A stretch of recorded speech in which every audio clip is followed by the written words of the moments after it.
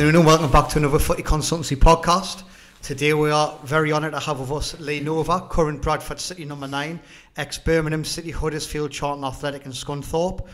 Good to see you Lee, how are you doing? Yes, yeah, good, thanks for having me. And understanding the minute you've been come back from injury, how's that been? Yeah, it's been good. Um, had an op seven weeks ago. Um, it's been long, boring, but now it's getting there. I think I'm outside this week, so yeah, seeing a bit of light at the end of the tunnel now. Have you got any games in mind where you think you might be back?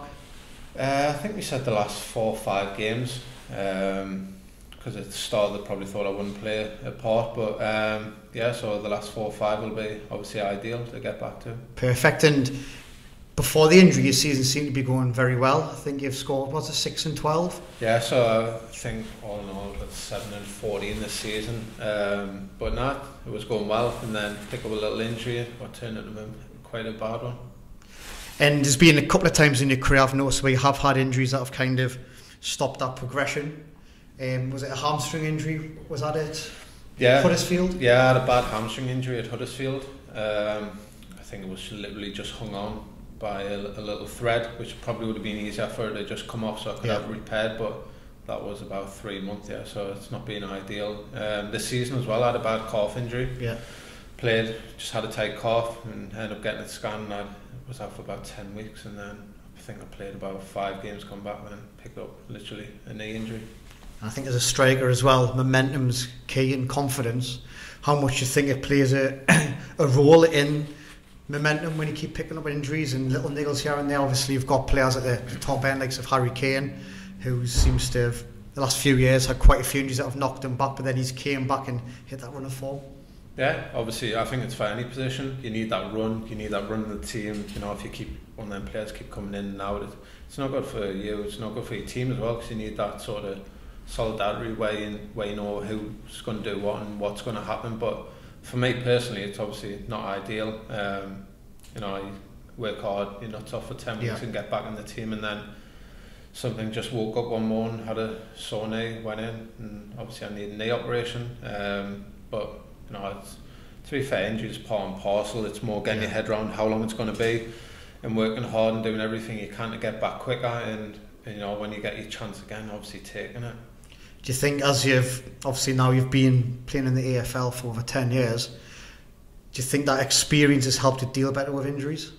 Yeah, uh, sort of. Even sort of like when you said about chances and that, it's never bothered me missing a chance. Yeah. if I missed an open goal, I remember a game when I was on loan at Chesterfield, I missed an open goal. It didn't bother me, I wouldn't have scored 10 minutes later. I was Yeah. just like, if I'm not getting them chance, I'll be worried. But yeah, obviously playing around and being around the game and the characters to help you deal with stuff. And probably when I was younger, I didn't take it as well Yeah. with the injuries, and I thought, you know, what if they sign someone else and I never play again? I'm not going to do this. But now you just sort of deal with it. It's part and parcel of your job Yeah. and just you just got to come back stronger. Like the mental side, you know, I've always been pretty good with that. Have you found that in the past or even now that you've had much support from the clubs when you have been injured in regards to the mental side of it? Um, don't know. Obviously, the game's changing a lot now, where Yeah. the mental side is obviously at the forefront of everyone's mind with you know things that have gone on. You know, that you see the young lads, well, what's happened with them, and I would probably say now there's a lot more going around where there is help if you need. Obviously, with the PFA, you know, you can speak to people at the club, but for me personally, I I've never really needed that help. I've just sort of got on with it and got my head round it. Yeah. If no, I've always if someone's telling me I'm going to be out for ten weeks, I'll try and get back as quick as I can and do everything I can off the pitch as well as you know when I'm at the training ground to, to help improve that as well. I think when I've been speaking to other players and read articles and followed your career, I think one thing you have definitely been associated with is that mindset, your attitude on and off the pitch, your hard work, the resilience. Do you think that's helped you get to the levels that you play at? Yeah, I think obviously it's been probably not your typical journey through an academy or things like that. Yeah. Um, so probably the harder sort of upbringing in football maybe did help me and stuff, and I wouldn't change anything what I've done. You know, I've done things what people could only dream of, and what Yeah. probably I would never ever thought I would be able to do. And always when I started, I just want to play the highest level possible. If that was going to be the conference, if that was going to be the conference, or if that would be it, I would give it me all. And obviously I went on to play a lot higher, and you know I wouldn't change anything for that. There's a lot more highlighted now with the likes of Jamie Vardy's, where people have come from non-league backgrounds, come from grassroots, and came all the way through to the top. So what I'd like to have a chat with you about was how your football journey started out. You know, what was it initially got into football and your, your journey beginning at Walls Boys Club? Yeah, obviously, um, sort of, you know, obviously the, as we used to call it, the boys has changed yeah. now. It's obviously not there anymore, Towers, but we're just sort of going there and playing the five side in the indoor court, and then I think I went to trials and and I think I ended up playing like the year above myself for probably about a few years, four or five years. And then it was sort of went to Newcastle. I was playing Newcastle, Sunderland, Wallsend all at the same time. So yeah. that time you could. And it was sort of like make a decision, end up staying Newcastle, Wallsend, and then it come down where you had to choose between the boys club and New, Newcastle, and I ended up choosing the boys club. It was just for I was enjoying it more, yeah. playing with friends. I was young you know, it was just sort of probably at the time was the, the right decision and not my age group. I think it was like uh, Andy Carroll and stuff like that. Who yeah. ended up, you know, the career he's had, it's been unbelievable. But for me, I wouldn't, I wouldn't change it the way that I've done it. Probably the hard way, sort of. You know, like I say, I was only in the academy for probably a couple of years when I was younger, um, and you know, the hard work I've had to do to get myself to that level. You know, it hasn't been easy. What do you think it is about Wallsend Boys Club that's produced so many players that went on to play at the highest level? You know, you've got your, your standouts, Michael Carricks, and then even when you look down the divisions, you've got players from Wallsend Boys Club all the way through. What do you think it is about that club that continues to produce these players? obviously a lot of it's got to be the coaching. Yeah. Um, the coaching I had, um, you know, I pretty much had the same manager the full time I was there. You know, Alan Jarvis. I think he still still does a bit with yeah. the with the boys club now. But for me, it was like it was more like a little family. It was it was crazy. Obviously, going to Churchill, you know, festival thing that we used yeah. to go to used to be like the highlight of you being at the at the club and that. But there was just sort of that mentality where I'm playing for Wallsend, like we're going to win, we're going yeah. to steamroll you. It was like didn't matter if we were playing top of the league, bottom of the league, we were going to win. And you know, I think at any job you need that, and I probably took that with me through my career, where I think you know I just want to do the best. I certainly remember when I was younger playing in grassroots how there was that mentality about Wallsend Boys Club. I played at the Boys Are for years and years and years, five side, and you know everybody would always think, oh he plays for Wallsend Boys Club, he plays for Wallsend Boys Club. Mm-hmm. And it did have an aura about it, and I think that there was a kind of a psychological resilience that those players did have. Mm-hmm. And you see a lot of players did go on to be very successful from there who didn't necessarily play in the academy system. How do you think they prepared you for the transition into senior football? I don't know, it's just the enjoyment, just enjoying. For me, if you're not enjoying something, don't do yeah. it. If you're not enjoying playing football, stop playing but for me, I loved every training session. Going in, you, you would play with your mates. Yeah. You are sort of. Everyone wanted to be at Wallsend. Every kid who was my age wanted to be at Wallsend. First thing you go into school Monday, RC won. So everyone knew what Wallsend had done. Yeah. But like you said, the players that brought through, like to Michael Carrick, obviously Steve Bruce Shearer, just had that like aura about it, like yeah. you said, and it was that it was sort of a bit of an arrogance oh, well, no one's going to come here and beat us, we're Wallsend. And it sort of rubbed off. Not that every, not that we were arrogant as kids, yeah. but it was like, we don't want to get beat here. We don't want to sort of embarrass the boys' club. And where we didn't put pressure on ourselves, it was just sort of just enjoying it and enjoying winning and, and taking them trophies and, and things like that. But there's definitely a winning mentality.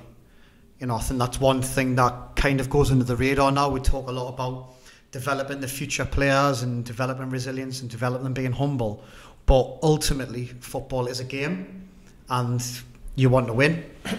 and children, as much as they need to be exposed to, to losing for learning, they also need to be exposed to winning, and they need to have that mindset and that mentality. And you know, from an outsider looking in, I was never fortunate enough to play for Wars Wallsend Boys Club at 11 side, just in the 5 side, but it was kind of, oh, there's the boys, there's Wallsend. Mm-hmm and you know that psychological gains that they had. I think it gives you confidence. It did. It gave everyone confidence. You know, I think there was a lot of us at the time who were at the academy and, and playing for them. So we were sort of like we knew we were good enough. We we sort of like you said had that self belief. Yeah. That was sort of drummed into you, and you know believe like you're here for a reason kind of thing. And now we have players there who probably weren't as good, but they had that mentality where I was like, right, I'm not going to win, I'm not going to lose here. I'm, I want to be part of this, and, and people always used to probably up the game as well, playing Yeah. against us, which you know, we probably enjoyed as well.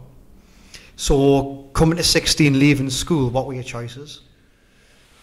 Um, I went to Monkseaton, um, done the sort of set up a little academy there, Yeah. um, which helped lads get in the pro game and play, played against pro clubs, and they sort of set a link up with Gretna at Yeah. the time were, I think, won the Scottish Championship. But I remember playing sort of game four, Seaton it was a trial game against Mansfield, so they could have a look at us, and I ended up scoring five in the game. so I know And it was like, oh, Mansfield want to take on trial. And at the time, I was probably a bit naive where I didn't know what I was getting into. Yeah. And I went down, I was living in a sort of B&B with some first team player I didn't even know. And I would say, oh, you're sharing with him, that's it, this is what you do. And it was just like, I probably didn't settle, I didn't have the right, not that I didn't have the right mindset because I knew what I wanted to do, Yeah. but it was that I didn't know what I was expecting. So that sort of never worked out. And I'd done that year and I ended up going to Gretna and done a year there and sort of the club basically folded. They've got the SPL. Um, the end of that year, they basically said, "Oh, you, you're not getting a contract," and I think I scored something like thirty odd goals that season. It was like, all right, what, what more do I need to do? Yeah. Just like we ain't got any money, so like, we can't afford to pay you. You can stay, but you're not going to get paid. And I was like, I'm not doing that. I'm living away from home. So I ended up going home. And I remember the call come in. I think um, it was the manager at the time said, "Oh, will you come back and play in the SPL?"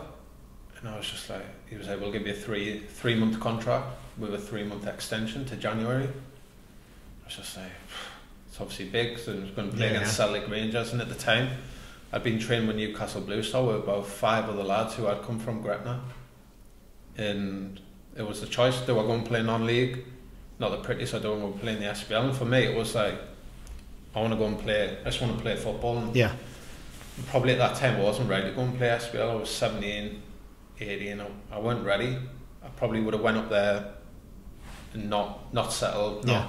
Not played. I would have been frustrated. So I ended up deciding just go and play non-league with friends, get back enjoying football again, and obviously it's worked out for the, the best.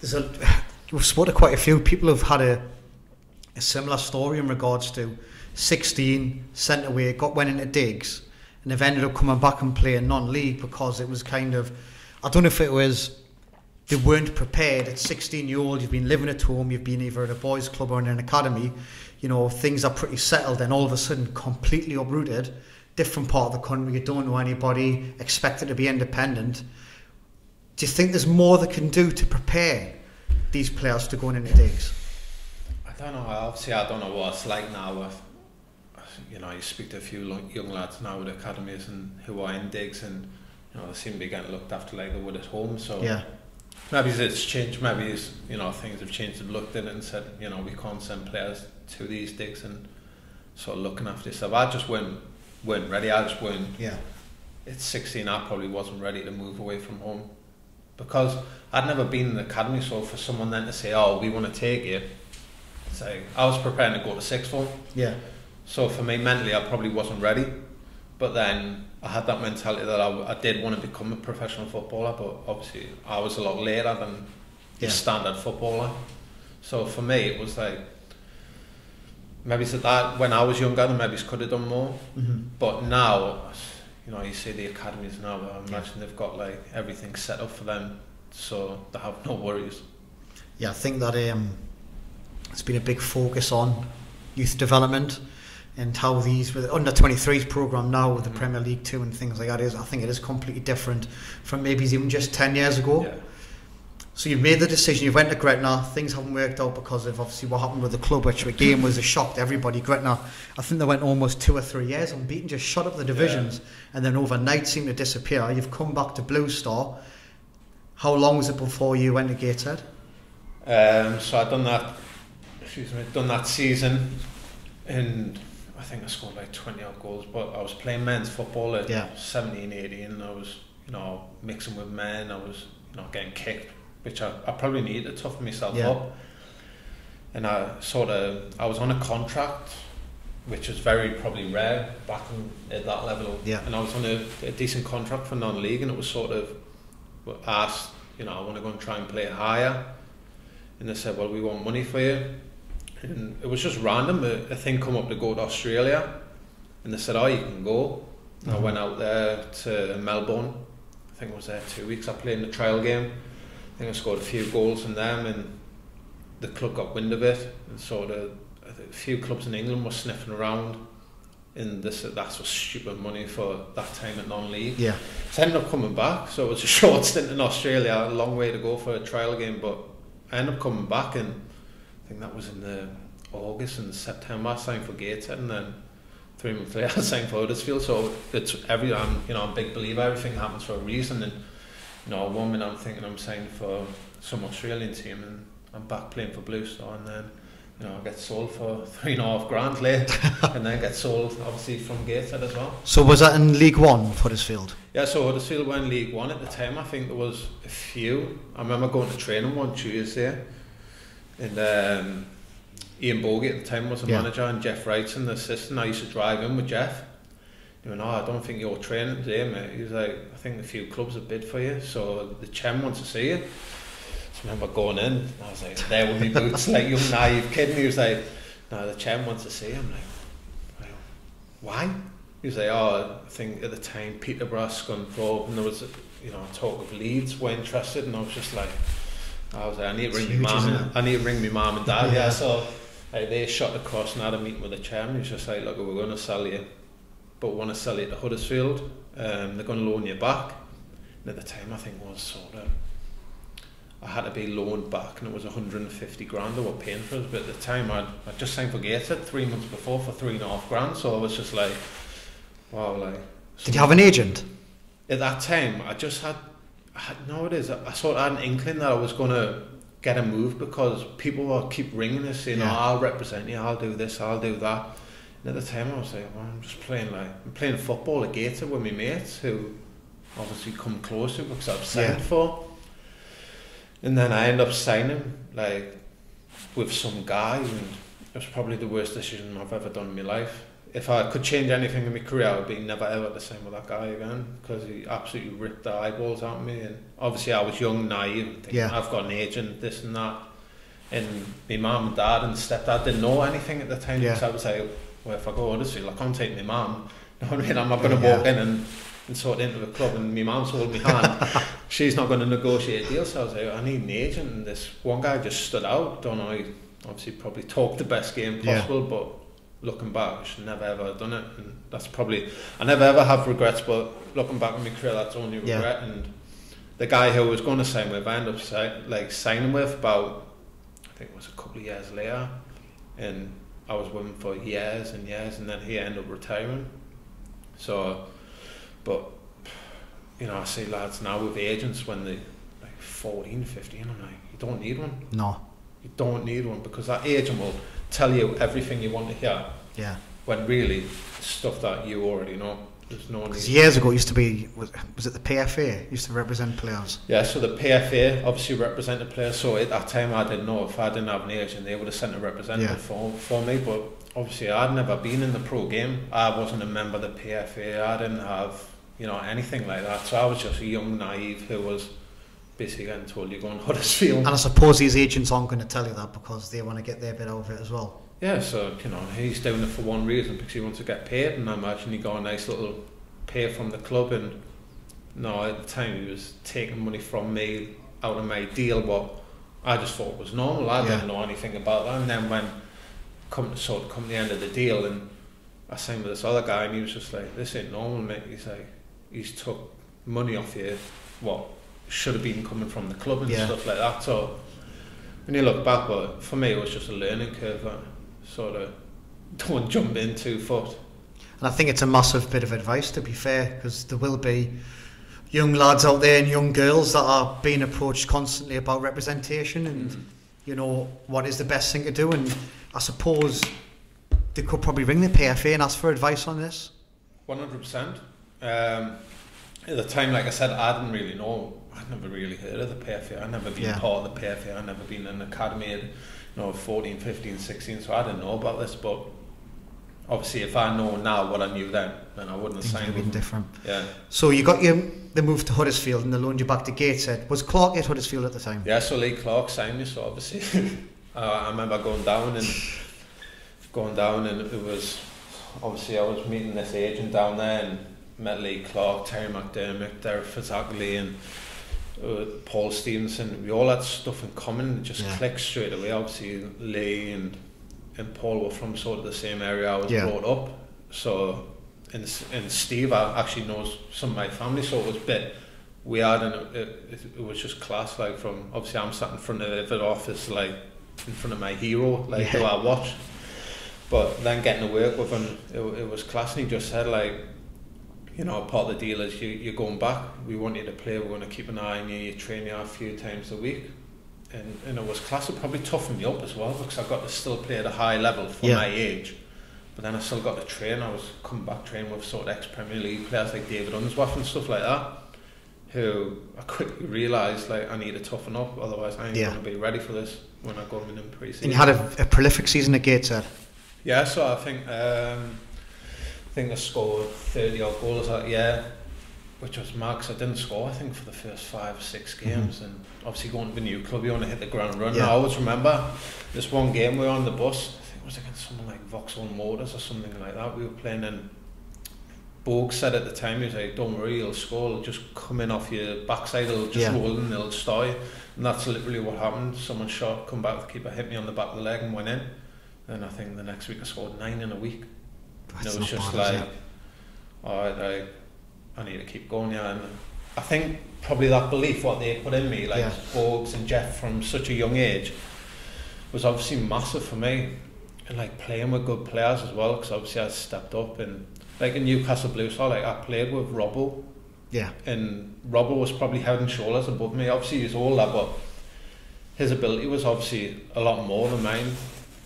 And like I just thought like I'm not ready sort Mhm. of for that pro game. Obviously looking at Robbo who I'd been yeah. Been be at that level and probably I was young, probably I need to be stronger mentally, physically and work on stuff and probably until I went to Gateshead I didn't believe that I could 100% get that level. I Yeah. always thought in the back of my head I'm, I'm good enough but deep down I probably had them doubts but once I got to Gateshead I thought I'm not letting this slip now and then I knew if clubs were watching me because of the agents ringing Yeah, so it was a case of right, I need to keep working hard and keep keep doing what is getting people to watch me. And then, like I said, I scored nine in a week, and I think the next, I think one of the games I scored five.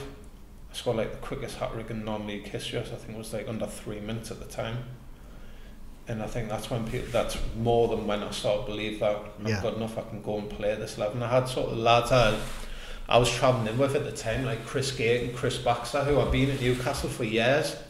And they were like, you know, you're good enough, like you'll get a move, and obviously with Jeff and the things that's speaking you in, you, you sort of half take it in, and then when obviously you, you see the club's bidding for you, like, right, this is real now, and obviously I went to Huddersfield, and I remember in pre-season, I scored seven in pre-season, my first pre-season, and remember the gaff at the time, Lee, Lee Clark, Mhm. pulled me and saying, oh, this isn't going to be like Gateshead, you're not going to play every game, and I was just like, you know, for all I want to do is play football. yeah, And he's like, but we're not going to let you go on loan. We're going to keep you here because I think at the time they were League One, fancy to get promoted. Yeah. So I think there was teams in League Two and Conference who wanted to take me, and he was like, "You're not going." I was just like, "All right, okay." And I thought, well, if I'm not going to play, I need to do something. So Yeah. I thought I'm going to work on, and I just worked non-stop after training and.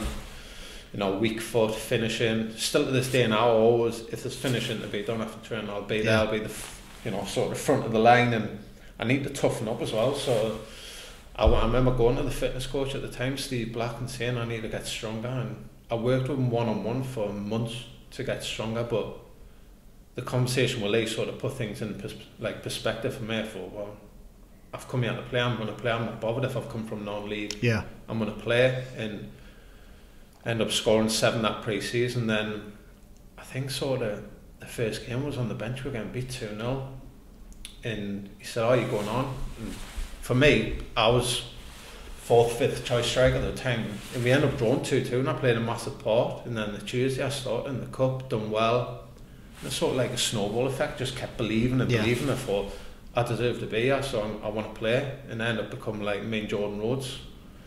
Started to just hit it off and had this partnership, and the lads who were probably on mega money more than what I was on were on the bench, mm-hmm. and that's when sort of for me I believed that I deserved to be at that level. And I had that mentality where I wouldn't bother no one was going to get me shirt. If I'd done something wrong I'd work hard. If I was having a bad game no matter what I'd always work hard Jordan Rhodes went on to have a, a pretty good career as well. What was it like with that partnership? it was it was weird because we had never ever played together Yeah. during the whole of pre-season we never played together it was sort of because I was like probably fourth fifth choice I was like getting 10 minutes for the first team Yeah. going playing for the reserves with a young lad and it just sort of clicked remember we played I think we played Southampton we won 3-0 and literally everything we done just worked we read where each other were going Yeah. and from there it literally it, it was just one of them things And how did that partnership work on the pitch? Was it was he more of a target man and you would play off him and do a bit more of the running, or was it kind of you both would do a similar? Yeah, role? both just similar. You know, I, I think the keep so the keeper at the time knew if you kicked to one of us, the other one will be sort of Yeah. playing off and vice versa. And it was just like that, and we were close off the pitch as well, so I think Yeah. that helped as well. You hear that a lot. I think you see it with um, Andy Cullen, Dwight, Dwight Yorke. They were like that. Mhm. where it just clicked. Going back to when you were talking about with Bogues and then going over to Huddersfield, how much importance do you think the likes of Ian Bogie played in giving you that confidence that helped you get to that next level? Massive, like because obviously at the time I was playing, I think it was classes like the Unibond.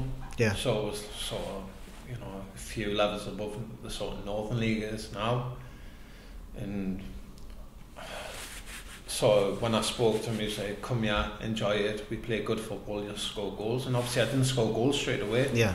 but he still believed. He had players there that, that had done it for him, Mm-hmm. and who at the time were probably better physically developed and probably better players. But I just thought, you know what it is, he showed me back and I, I'm just going to work hard. And I didn't work at the time, so it was like, how can I get better? And I, you know, I worked hard in the gym, you know, I sort of worked on stuff what I need to improve on. Yeah. Like I said, I got the look of the, where I once went in off my backside and so the, that just set the ball rolling. But Bogues and Jeff were like massive like confidence booster for me as well. And these people must have seen something in you when you consider you were Gretna seen something that you wanted to come back and play in the SPL. In Bogie, one of the most experienced guys out there in the northeast, he's seen some something Tina Gateshead, and then Terry McDermott and Lee Clark, who who have both played at the highest possible level, to Mhm. see something in you. So even when you didn't have that massive confidence in yourself at first, they've seen something in you. Did they ever see what it was, what they seen in you, what they thought was your, your strongest assets? Obviously, as a striker, it's got to be finishing. Yeah. I mean, sort of no coincidence that Blue Star scored 20 odd goals. Yeah. And when Gateshead, the level, a few levels above, scored 30 odd.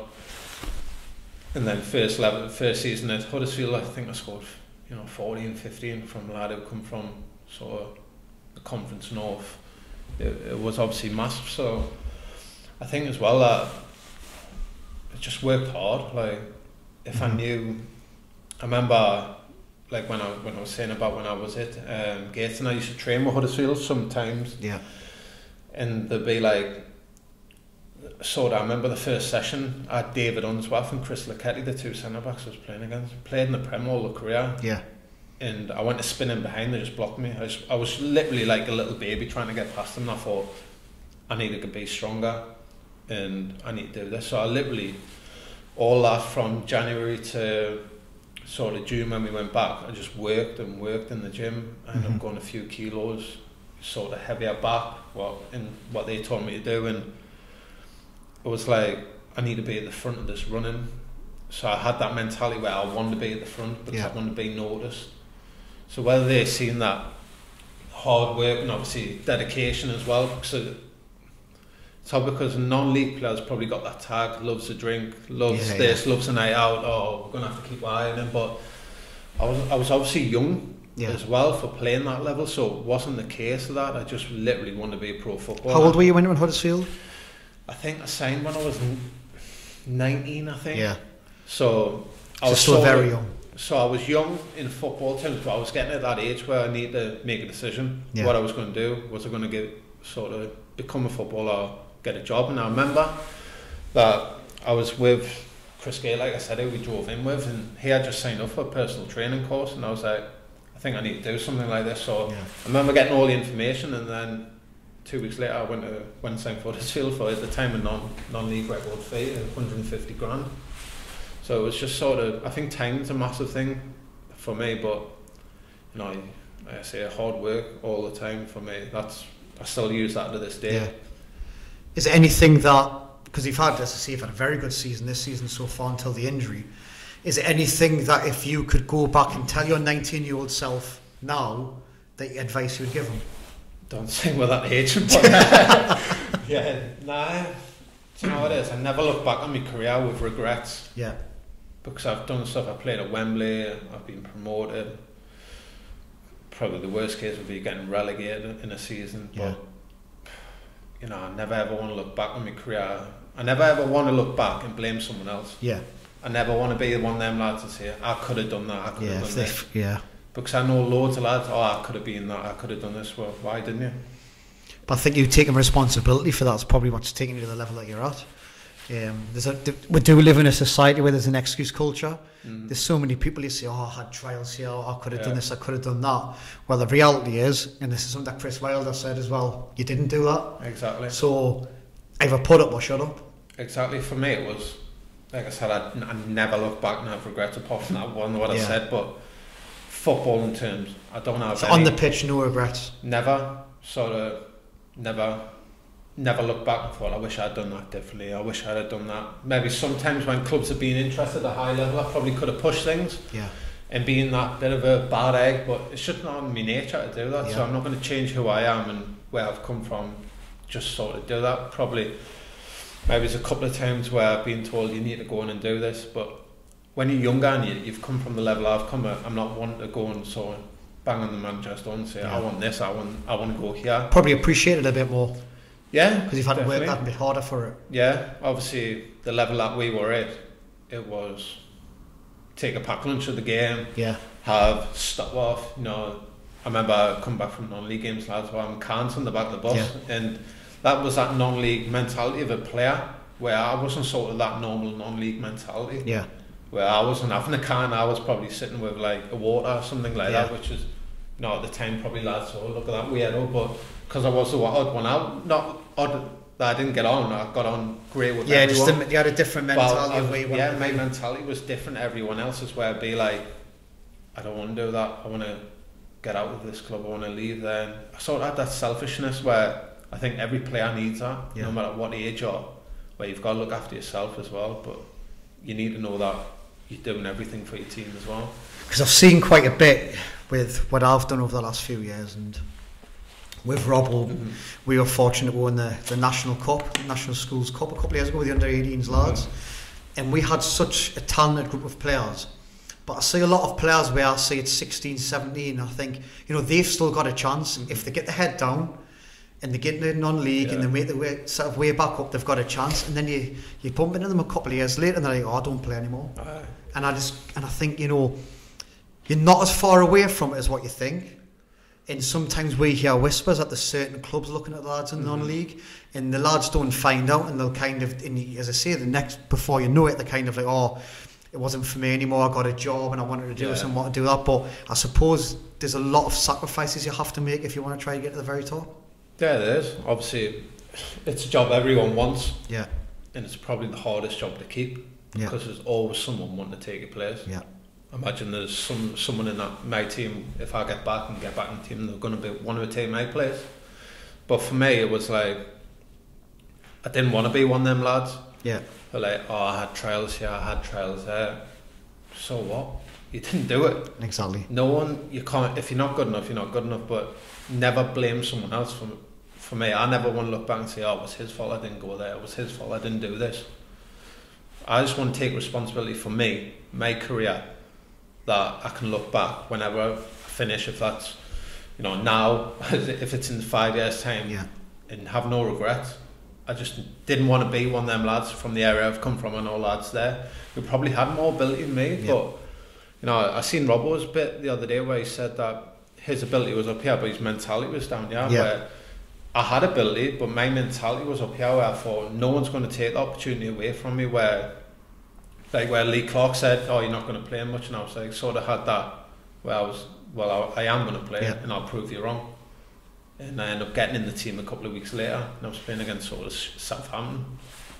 So I think an example that I often use is I'm a Wallsend lad. You know, I went to I went to Burnside, so a couple of years above me I had Michael Carrick. Mm-hmm.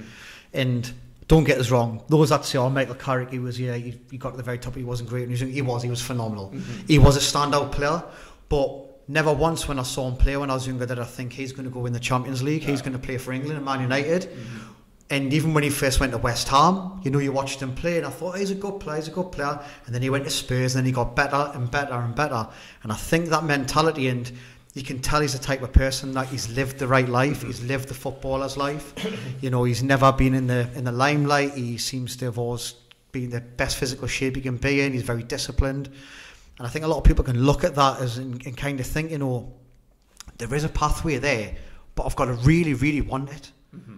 And you know, when I see my mates going out at the weekend, I've got to say to myself, well, their intentions are different than mine. Aye. I can't go out with you. Yeah. You know, I've got football this weekend. You know, I can't have a drink tonight. I've got training tomorrow, and about making them sacrifices. And I don't, I don't think it's easy. I think there's a lot of PR pressure as well. You do obviously because your mates have got so-called normal jobs Yeah. where you're not in that normal industry that as people say. But for me, it was being selfish. It was like, well, you know, I've I've seen where mates have rang, oh, we're going to town. He come in. I say, well, no, I've got a game Tuesday. Yeah. So it's Saturday. It's like, well, yeah, but matters for me. It's my job. I turn up Tuesday and I have a bad game. I, I may not get back in that team. Yeah. So was having that, like like you said, like Carrick, like where you probably do cut yourself off a bit from your friends, and Yeah. but if the proper friends, they'll understand. Yeah. And, and for me, I've got a small group of friends who I literally would trust my life with, Yeah. who've been there from the start and who understand. And if I said, "Oh, I'm not drinking tonight," they'd be like, "All right, that's fine. Like it doesn't matter." But then you do get some who are, "Oh." Like is it in football terms? Oh, he's a busy guy and he won't he won't have a drink. Like Yeah. just have a drink, relax, and say, "Well, I can it. This is my job. This is what I'm getting paid for." And I thought like obviously come from non-league as well. It was like I need to change that sort of Yeah, non-league mentality. mentality. and have that professional side where I sort of did change everything. Changed my diet, everything like the way I'd done things and the way I looked out on obviously football. Because I'd never been involved in a pro club. Yeah. So for me, it was like, is this really what happens? So I need to change my ways to obviously adapt to this as well, which I think obviously, you know, to this day I still use. How much of a role in support did your parents play? Huge. Um, obviously from starting at a young age from the boys club, you know, like when you start out with your dad, Yeah. you know, my dad, stepdad, stepdad drive me to obviously every every session, every game, Yeah. every all over Newcastle. So they've been huge and they're still huge to this day. You know, I still my dad's probably the biggest critic if I don't score or you didn't score today. yeah, but I set up to now but you didn't score. It's just like it's always gonna be like that. Yeah. Where my mum and stepdad are probably the softer side, my dad's the harder side, which you know I've got uh, which I like. Yeah. And I would always want someone to be honest with me and my brother-in-law's the same. He obviously played for Shields as well. Yeah. And he's like, oh, I thought you done well there. You should have scored though, which I like. I, I don't, I don't want to be someone Yeah. one who. You don't want to be wrapped in cotton wool. Yeah, literally. If if if I've had a bad game, I know I've had a bad game. But if you said that, I'd take it. Like it doesn't bother I me. suppose as well, you know, it helps build resilience, but I also think it's about how people give you that feedback, Mhm. How they critique you. Yeah, I think it's okay critiquing somebody um, if you're coming from an educated side of the critique where you can see them, but you understand the game, you can see, oh, what happened in that part, they can have a conversation. I think some players go the opposite way where they can't handle the critique. I think my mum was probably the worst. Where still to this day, it doesn't bother me. Can I'm never ever going to please anyone. Yeah. I can't please everyone. I could score. I remember scoring a hat trick in a game, but someone said, "Oh, you should score four. I've just scored a hat trick. Yeah, there's always going to be somebody. And like at the start, I would say probably because I sort of went from here and ended up going up. Yeah. My sort of mum couldn't deal with it. Was like, "Oh, someone's writing this." I was like, "Don't read it." Yeah. Not bothered. Like still this day, people will be writing rubbish about me, and I do not care. Literally, hand on heart, do not care what people think because in my head, I know I'm good enough. And I know if I miss a chance, I'll Yeah. get another one, and I will score. Well, you've proven it already. You know, Yeah. you've played the highest standard, really, and you know what you've achieved at Huddersfield. I think Clark had an amazing season there. You know, when he's got promoted, and then you've went on to Birmingham City and have a massive club. What was that like? It was huge. It was.